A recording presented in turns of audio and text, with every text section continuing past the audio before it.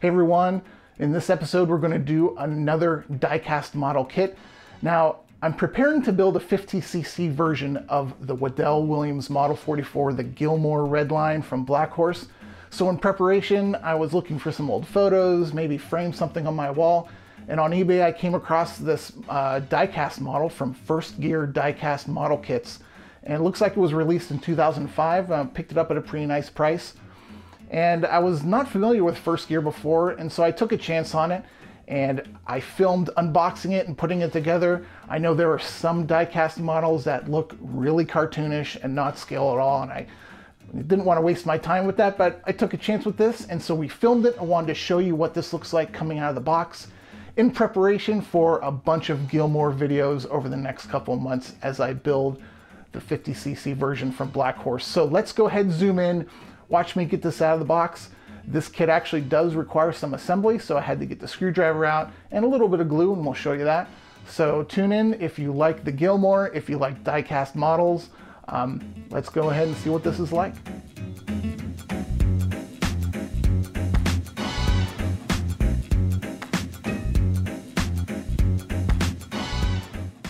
So here's the box. First Gear diecast model kits, the Wedell-Williams Racer, and the Gilmore Red Lion scheme. We'll get this out of the box. And again, this was from uh, the copyright on the box is 2005. And I can tell this box is a little bit old. You can see around the edges, the creases. But here we go.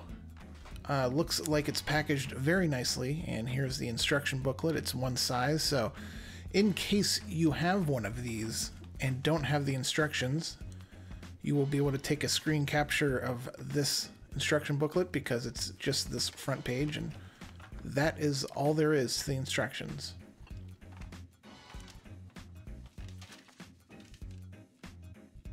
We will take out all these bags and go through it. Here are the pieces of the engines, the manifolds, and the distro wires that go in front and back of the engine and then the coils. So I was worried that this might look something like this model. This is a Corsair that I've recently thrown away.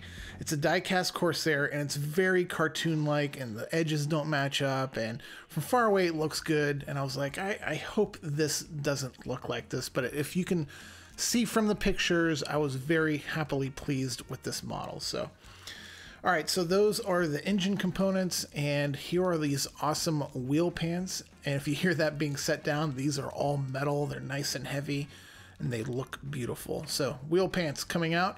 Here is the cowling, two-piece cowling. There's that front ring and the cowling, and I think this is plastic. It doesn't feel like metal. It's not heavy. Uh, so that piece is plastic, and here is uh, a bag with the canopy, the wheels, the tail wheel, and a little round cover for the bottom screw. Here's the first piece of the fuselage. Looks beautiful, packaged very well. Combination of, of plastic wrap and some light foam wrapping in there. There's the horizontal stabilizer and elevator. Here's a bag with all of the flying wires, and there are four screws, two large and two small according to the instruction booklet, that's A and B. And as we pull the wing and the rest of the fuselage out, um, keep an eye on the box uh, because when I pulled this out, I was so excited and forgot that there was one more bag in there. So uh, we'll come back to that in a minute. But this is very nicely packaged, wrapped up really well. You can see the cardboard spacers uh, that it doesn't move around a lot. So very, very good packaging here. So we'll try to get all the pieces in the shot here so you can see what all comes.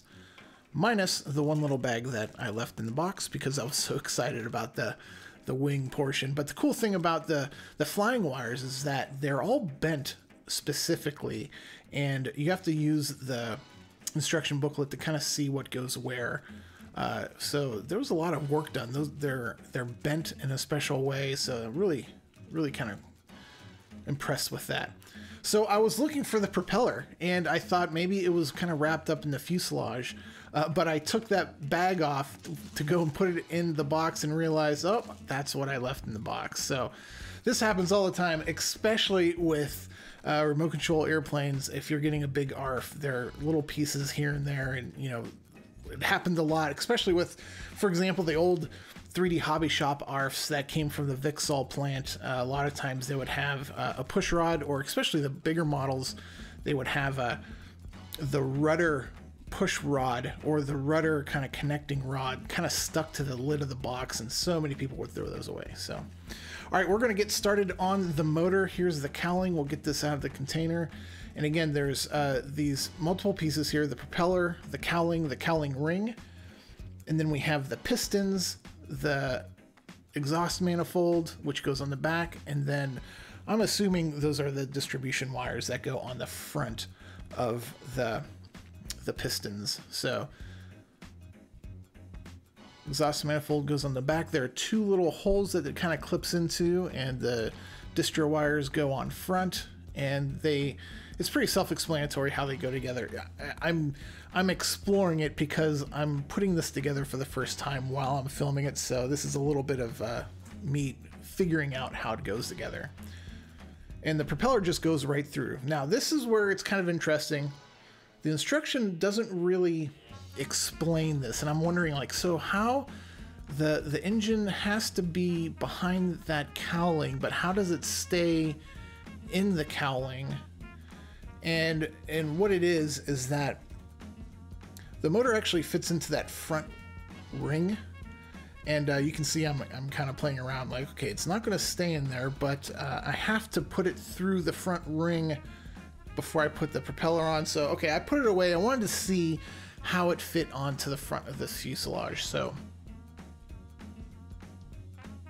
we'll unwrap the main fuselage and this thing is nice and heavy, it's beautiful, and you will notice it does have a yellow tint to it, and I think we're all kind of used to uh, it's the Gilmore being like a red and a cream.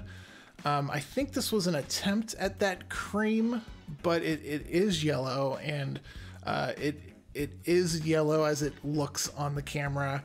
It's not yellow, mustard yellow. It is like a creamy yellow. So some people might not like that. Um, I should probably go and do some research and see really what that color was. Uh, people are just as interested in the true colors of the zeros. I'm sure there's a lot of research on what uh, color this was, so maybe that's something I'll do. So here's the bottom, the wing, the main wing, and the bottom of the fuselage.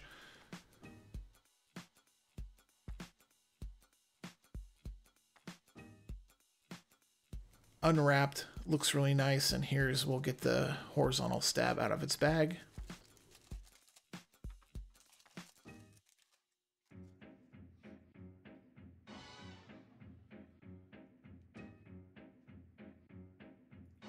So here is where I've just noticed that the motor notches into that front cowl ring.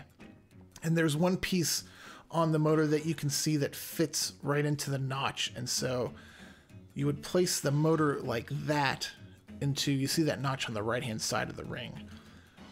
Put it in there, and then the prop can go through.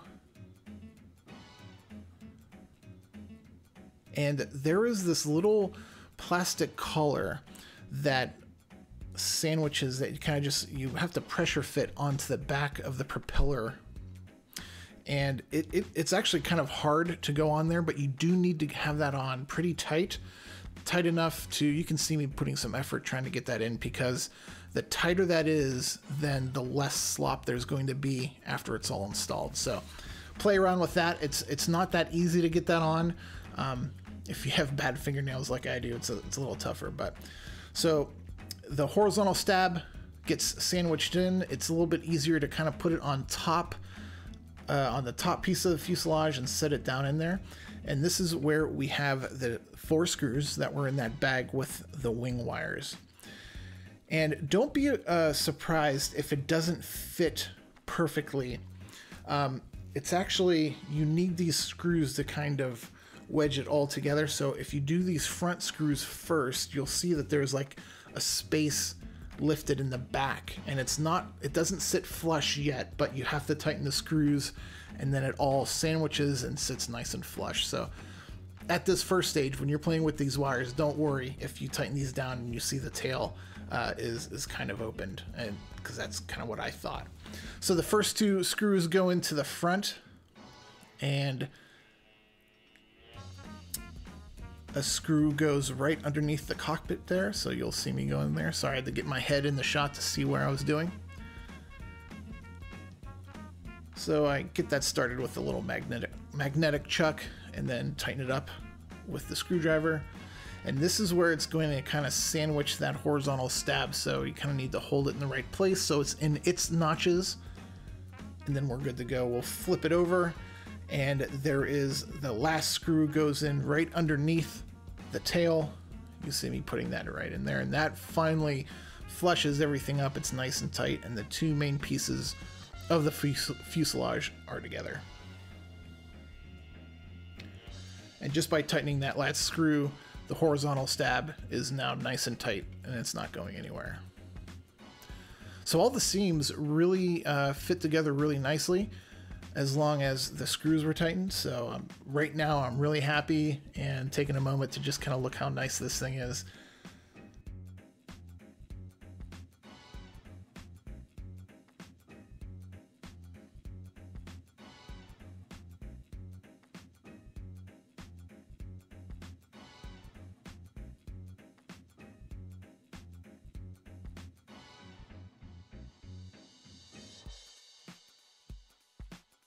I was I was kind of worried, uh, but I'm really excited. So let's open up this bag with the canopy.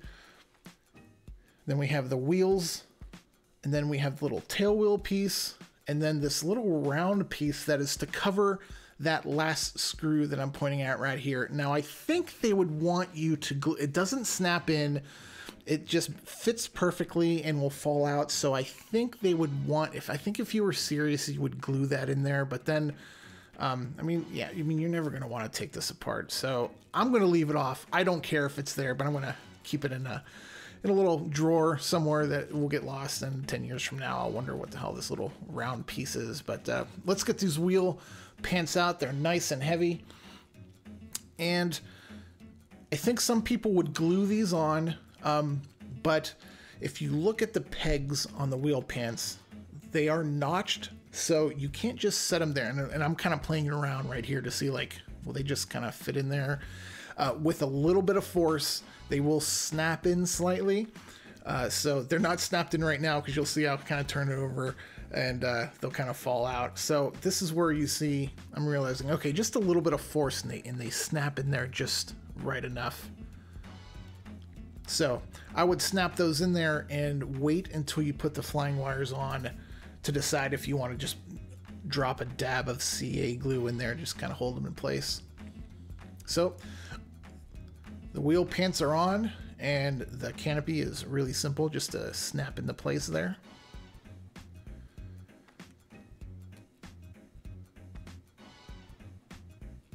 Obviously you want to put the canopy on after you tighten that screw in the middle of the fuselage. So here is the cowling and it's shaped so it can only go on one way and it matches up with the pinstriping. Uh, but mainly there's those two little notches for the wings. So this does need to go back. It's a little tough to get on and I'm kind of, you see, I kind of, I thought maybe that's as far as it needs to go, but it does need to go back all the way because that's going to help hold the propeller and the motor correctly. So right now it's the cowl is not slid back all the way and you're seeing me kind of holding the motor and prop with my finger and thumb as I'm putting the cowl ring on the front. And again, um, you could glue this. I decided not to, and you see there's a little bit of play there, and that is because that cowl is not all the way back. And you see it just kind of clicked all the way back, and now it's holding the, mo the motor and propeller really nice. And uh, interesting thing, any uh, real aviation guys or RC people will see that this propeller is not balanced whatsoever. It's actually terrible, but that's just kind of an inside joke.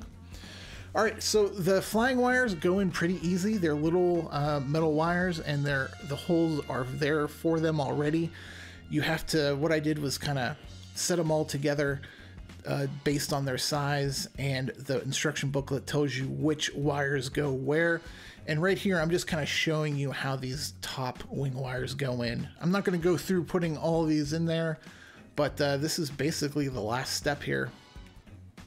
Um, before I mentioned CA, I, I had some goop around, and I thought maybe uh, since goop is so thick, um, I tried goop with a toothpick to glue the wheels on because there's nothing that clips those in. That is just uh, they just kind of sit there. So you were you were going to have to glue those wheels into the wheel pan. So I just took a toothpick and got just a little bit of goop and kind of lined the edges and we'll set the wheels in there. I'm using so little goop and goop is so strong and effective that that's all it needs and we'll let it sit for a while for that to set up. And again, these go on really easy. They don't clip, they just kind of sit right on their little ridge.